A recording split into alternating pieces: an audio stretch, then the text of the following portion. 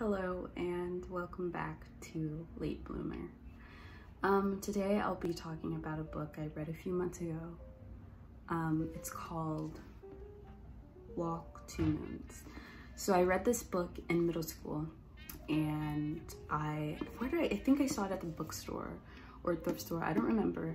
And I was like, what? I have to get this, I have to buy this again.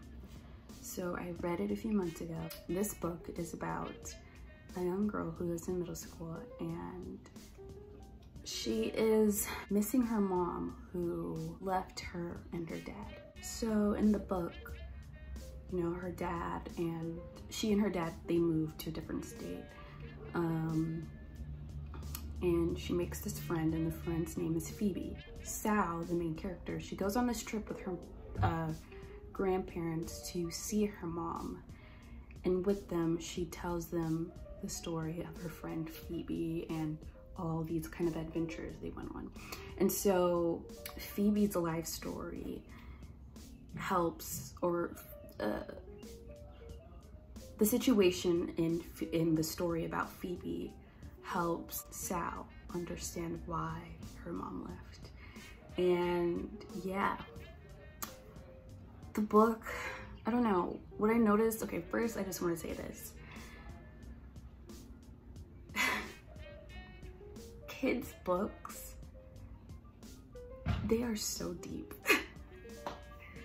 kids' novels are children's novels or preteen novels or whatever. Sometimes these authors, they make them so deep.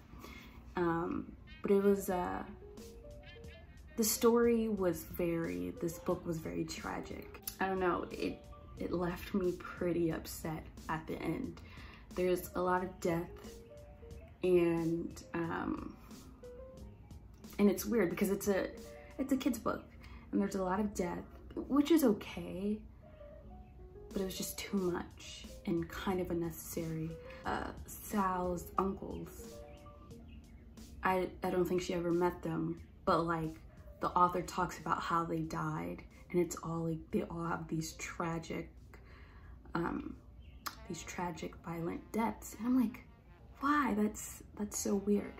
But yeah i started reading it again because i just felt like when i read it i didn't i read it way too quickly. I read it really quickly and i didn't get to process everything and like process how i'm feeling. And so i've been reading it again very very slowly i wrote some notes phoebe's mom and aunt sal's mom you can tell they struggled with depression.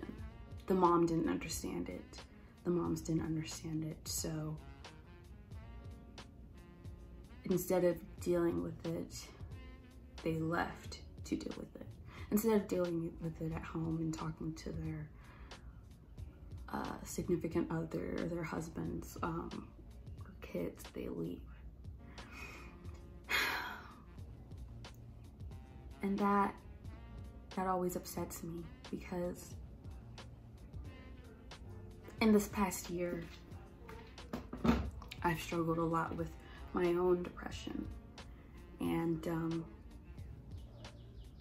I got the help that I needed.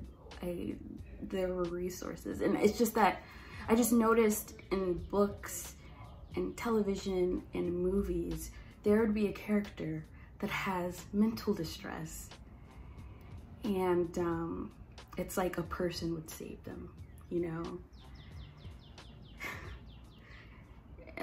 Somebody would save them, but they just, they wouldn't go to therapy or get um, just help or these characters are called crazy and people are mad at them. And that's the thing, that's the thing that irritates me a lot. And maybe going to therapy and getting um seeing a psychiatrist maybe that makes a story less interesting. But i wouldn't be so angry. And like yeah i get it's it's not always easy to get help get that but these are stories like why do they make it so frustrating? It's just like, I'm just tired of, um, and I've, I've been seeing this on social media. I, well, I saw last year how uh, a lot of people talk about how media uh, romanticizes uh, uh, mental illness. Okay, this is what they do. They either romanticize mental illness or um, they make it like this insane, creepy thing, you know? And that's just, that's just, oof, it irritates the heck out of me, you know? It's like when you just, when these people don't deal with their stuff, when people don't deal with their issues, it affects the people around them. like Sal. It affected Sal, the main character. I know I didn't say much about the book, um, but these were just kind of my thoughts and feelings about it. And I'm gonna read it again. I mean, I am, I'm, I'm reading it again, but trust, I'm going to um, make another video about this book and I'm definitely gonna say my thoughts again and maybe a little bit more about the characters because this this was um very spontaneous. so next time it'll be much more um, planned out. But anyway, thank you for coming and watching this video. I want to show you my hair.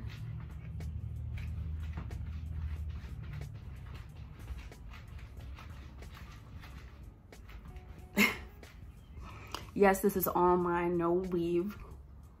Yeah, mm -hmm. yes it is, all mine. Um, the hair, my hairstylist did so great. It's tight, it's very tight, but she did such a lovely job. Have a good weekend, or actually have a weekend. Okay. Bye.